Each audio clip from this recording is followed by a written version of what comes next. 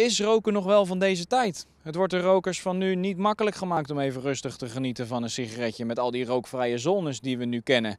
Onno Graafland is kinderarts en hij geeft aan dat het met name in de buurt van kinderen verstandig is om vooral niet te roken. Uh, als kinderen in aanraking komen met ouders, met, met volwassenen, met uh, leeftijdsgenoten, nou ja, noem maar op, hè, voorbeelden, uh, die roken, ja, dan gaan ze het makkelijk overnemen. En, en kinderen zijn ook gewoon net wat gevoeliger voor, voor de verslavende kant van roken. Ja. En die rookvrije zones, zoals op schoolpleinen en sportverenigingen, maar ook rondom het ziekenhuis en bijvoorbeeld op het leerpark, dragen een steentje bij aan een rookvrije generatie, hoopt de kinderarts. Als je merkt dat je dat daar zo in, in de buurt rookvrij kan krijgen, of in ieder geval dat je er aandacht voor kan krijgen, dan kan je er ook makkelijker mensen op aanspreken. En zorgen dat de jongeren in ieder geval niet zo in aanraking komen met het roken. Nee. Ja, hoe minder in het straatbeeld, hoe minder in de winkels, uh, hoe makkelijker het ook is om het niet te krijgen. Ja. Ook al rook je zelf niet, dan nog kun je last krijgen van klachten. Zeker kinderen op jonge leeftijd die net wat gevoeliger zijn voor de rook.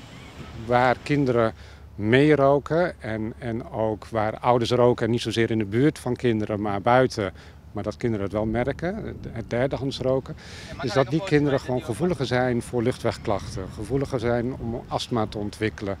De jonge kinderen die hebben vaker oorontstekingen bijvoorbeeld. Ehm, de baby's eh, die, die nog in, bij, bij de moeder in de buik zitten en de moeder rookt, die zijn kleiner bij geboorte. Eh, de longen zijn minder goed ontwikkeld, dus met alle gevolgen van dien. In de toekomst kijken kan niemand, maar dromen mogen we allemaal. Als het aan Onno ligt, worden de stappen naar een rookvrije generatie steeds groter. En mijn kinderen zeggen ook van, goh, is dit terras nou nog steeds niet rookvrij?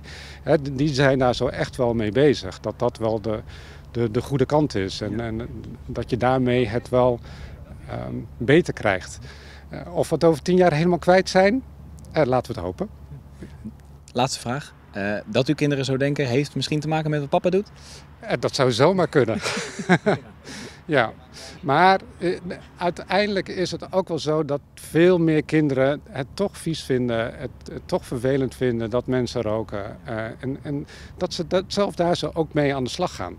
Dus dat is wel, wel heel grappig. Natuurlijk niet iedereen, maar het, het lijkt wel steeds meer te zijn.